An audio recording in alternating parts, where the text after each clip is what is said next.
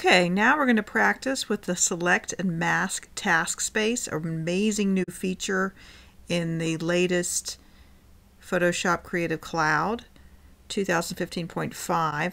I want you to go into Bridge and grab three images that we're going to load as layers into Photoshop. You're going to come into number four.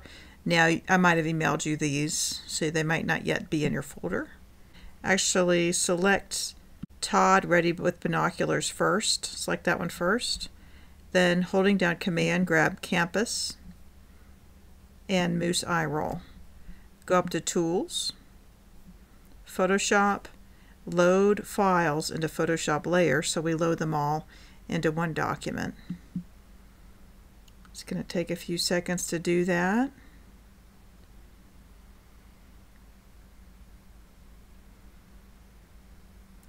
Okay, so it's conforming to the size of Todd.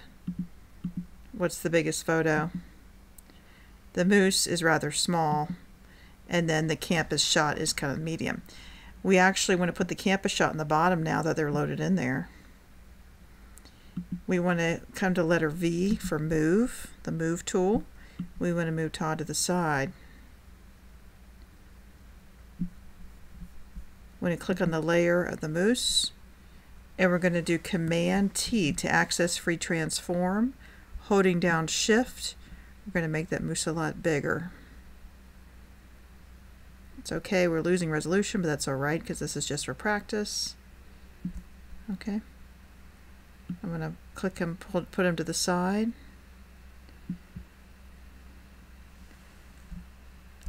Command 0 to put it completely into the screen to fit the screen. I like that. I'm going to press enter. But I am going to put the moose now as the middle layer so we see Todd here. Okay, so this is the tutorial you've been waiting for. We're going to remove Todd from this background and put him on the campus background with the moose. Also removing the moose from its background. I'm going to make sure that we're selecting the layer that we're going to be uh, using first. That's the Todd layer. You can select Todd okay, using the quick select tool right here. This is how it's traditionally done. Alright, we just grab him, get his arm there, his face, the hat. We're also getting some of the background. That's okay. We're going to be able to remove that. That's how it's traditionally done. I'm going to Command Z. We could even be in some other tool though. And we can grab him by going into Select and Mask. Okay. Make sure it's scrolled to the top. Okay, we just used this in the last tutorial. And you can select and mask him. Here's also the select tool. Okay, and you can grab him here. Just be very conservative grabbing him. Okay, so you see that the uh, the red area, because I have overlay selected,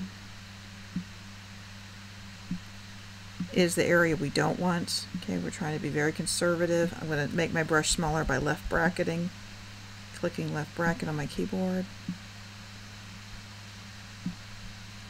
I might even make it a little smaller. Just want to grab the arm. Oops, grab the outside. That's okay. I'll come back to that. Okay. Now I'm going to use the paint, which is the third one down. If you hold down option, you remove these areas from your mask. Okay. I'm going to go a little bit on the inside of Todd's arm here because then we're going to use the excellent tool, the refine edge tool. Make my brush bigger with the right bracket. It's a little too big. And we'll get rid of that here in a second. Now this is the key tool in this particular panel. Notice we're in a whole new interface right now. Refine Edge Brush. Amazing tool. Okay, I'm going to go along the edge here and I'm asking it to to figure out what I want it to do. In this case,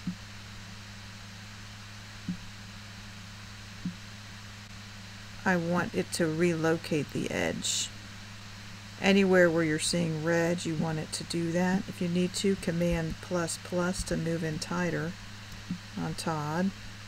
I don't think that red's supposed to be there because that shirt should not have any red in it.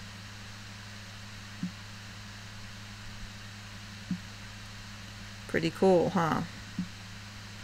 He's having trouble with his watch probably because of the glass element there. And his hands.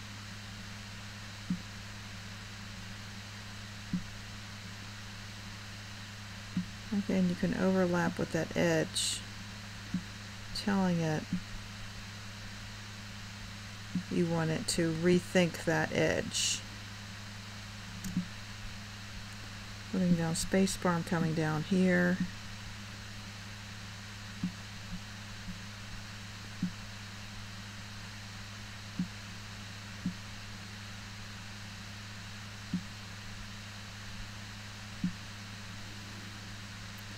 Okay, so anywhere we're seeing red, we know that there's transparency there. So you may want to grab your brush tool and the parts you know are solid, go over them, like Todd's arm there.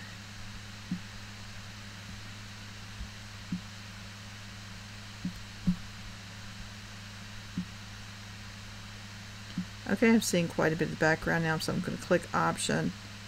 I really need to make the brush smaller.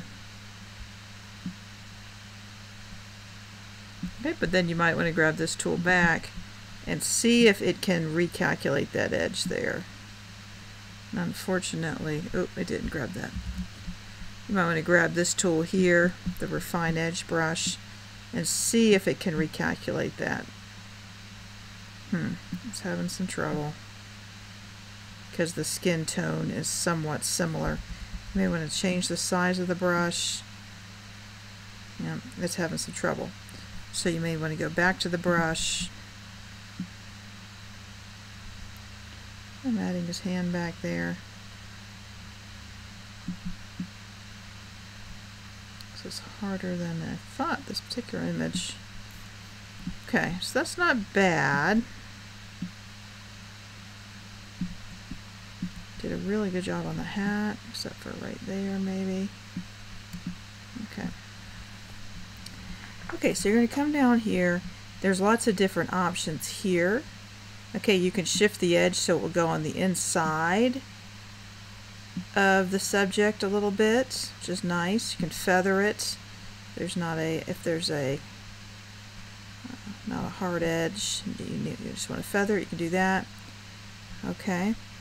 Here, this part's really important. When you go to output settings, by twirling down, the triangle may already be twirled down, you're going to see this checkbox, decontaminate colors.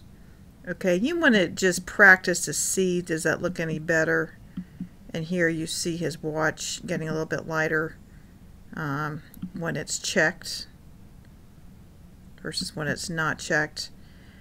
What that does is it tries to match the semi-transparent layers a little bit to the new background you're putting the subject on. So if there's any color casts on the image or reflective surfaces where the subject is reflecting a little bit of color from its original background, this will decontaminate that and then try to add the color cast from the background that should already be underneath, hopefully, in your layer panel on the uh, original interface. So that's what that does. I don't think that does anything here in this particular layer, but I might use it in the next thing, in the next layer.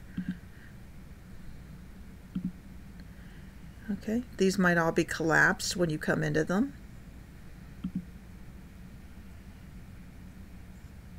This is nice because it will allow uh, Photoshop to look for an edge it'll give it more of a permission basically to look for the edge, a hard edge, and that is very useful. Okay, notice it's trying to do that like in this area when I have that checked. Okay, and it's doing a little bit better when that's checked, but it's at minimum of 10 pixels, the smart radius. Okay, and then there's lots of options here. So I'm going to make a new layer with layer mask. Click OK. Okay. Alright, so now we have Todd, and notice here there's the whole layer there. Then this, this one is the one with the mask. Alright, so there's Todd. He's trying to get away from this moose. He's a little suspicious of the moose. Command 0 to fill it on the screen. Okay, I really want the campus to be uh, more represented there. Right, and I may need to move that to make it bigger. Alright, so I'm going to do Command T for transform tools, hold down Shift. Alright, and then we have the campus there. Oops. Did not hold down Shift. Make sure you hold down Shift. I like that. I'm going to press enter. Alright, now I'm going to work on the moose. Remember Todd's right there. I'm going to actually bring the moose to the front now.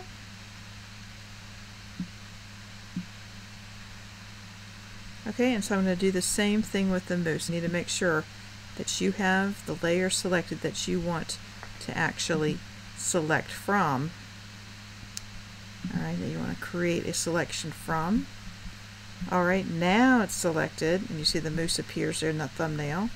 I can grab the quick select tool and grab that moose. Okay, there's that moose there. I think I'm also going to actually grab some of the grass around him. Alright.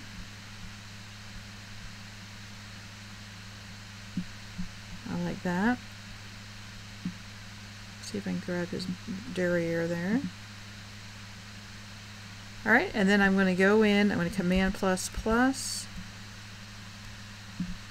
hold down the space button, space bar. Okay, and then I'm going to grab the refine edge and try to get his ears better represented there. Not bad, not bad.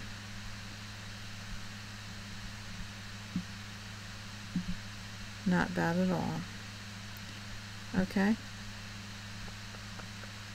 Just out of curiosity, if I go along here, what will it do? See if it refines that edge to include leaves to make it look a little more natural, this line, and it does.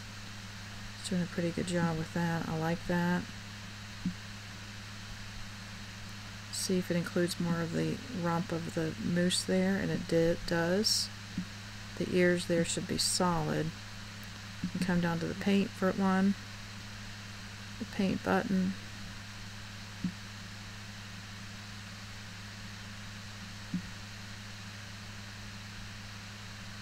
There's this really uh, high contrast there. Alright, I'm going to do the same thing down here see if this looks any better by decontaminating the colors.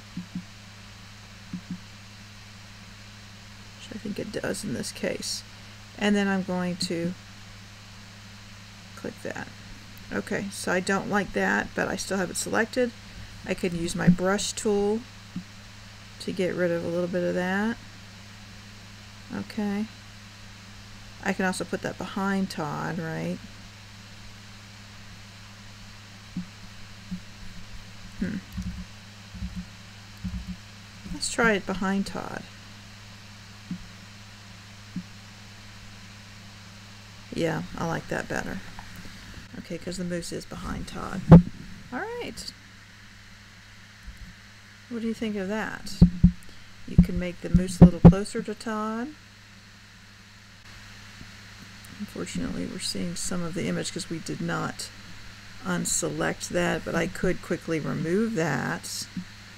But it looks like I am not because I don't have it selected. Remember, the, the layer mask has to be targeted.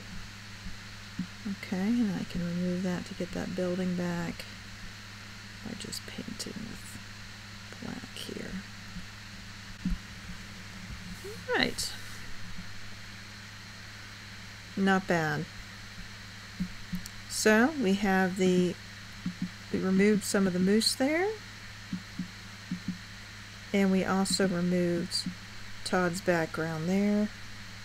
And we have Todd, the moose, and the campus there.